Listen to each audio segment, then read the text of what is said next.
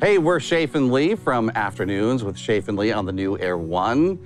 If you've listened to our show uh, over the past couple years, we have a feature called The Best News Ever. Where we celebrate your most exciting news. Maybe it doesn't seem like that big a deal, but then you share the story about why it is a big deal, no matter how big or small.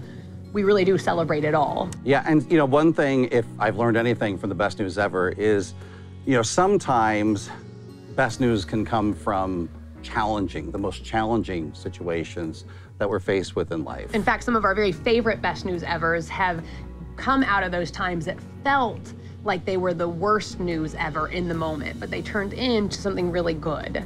So that leads me to my best news ever, um, which is also a bit of a bittersweet best news ever. Totally. Don't start because you're going to make me cry. So, okay, so my best news ever. I know this sound. I'm cra- who does this? Who cries and then says it's the best news?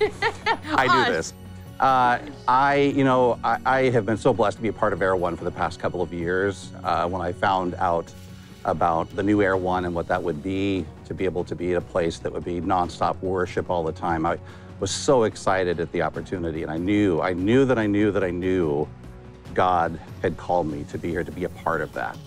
Um, but earlier this year, it also became clear that God was calling me to, to go home, to be with my family um, because you know in life there are seasons.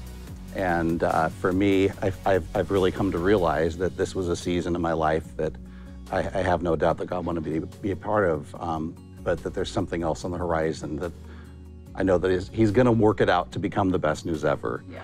Um, but it is bittersweet if we're being completely honest, and that's where we've learned from you that even when things are uncertain, God always works it out to where it becomes the best news. And I believe it's going to be the best news for you too. You're sweet. Longer well. term. Longer term, I'm thinking, I mean, it's it's hard to say goodbye though. So I don't feel like this is the best news ever right now because whenever you do what we do every day, you're on air married to the person. And in a non-weird way, it's like really this has become my brother. And so it's it's going to be a hard transition in a lot of ways, but um, I am trusting that God is going to do something good out of this.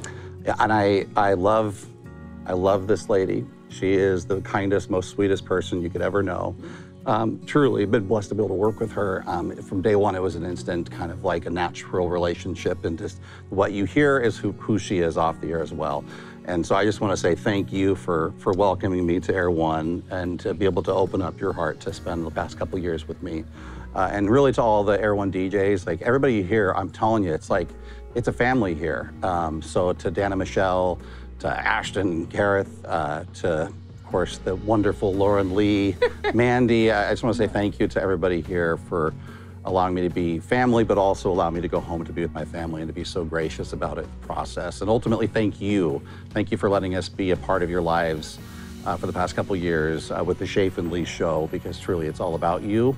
And uh, I'm just looking forward to being on the other side of the radio. I'm still going to listen to Air One. I'm still going to support Air One. I'm just going to be worshiping on the other side with you. So, in a way, we'll continue to worship through it together. And I'm grateful for that.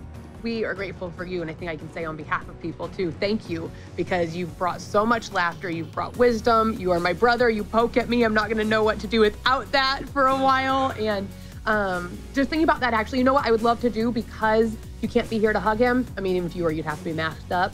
Let's treat this online like a, a guest book, a virtual guest book of sorts. So even though this guy does not care much for Facebook this mm, week, yeah. this next few days, he is promising he's going to get on Facebook and read comments. So if you want to share, uh, you have a favorite memory with him. Maybe we've met you, you've had interactions with Shaef, and you want to share one of those. Whatever it is, if you want to leave a comment below, I just think it'd be really cool to celebrate what God has done through Shaef well, during his time here. So if you would just comment below. I will be sure to. I will look and comment to all three people who will be commenting. My mom. Um, yes, and my mom. and then you. And then me. uh, I, I, promise to do that. But uh, again, thank you so much for letting us be a part of your lives here at Air One. Leah is going to continue to tell her terrible jokes on Air One. Yes. Well, you, you don't laugh at them anyway. Not much is going to change. Peace out. We love you. We love you. Love you too.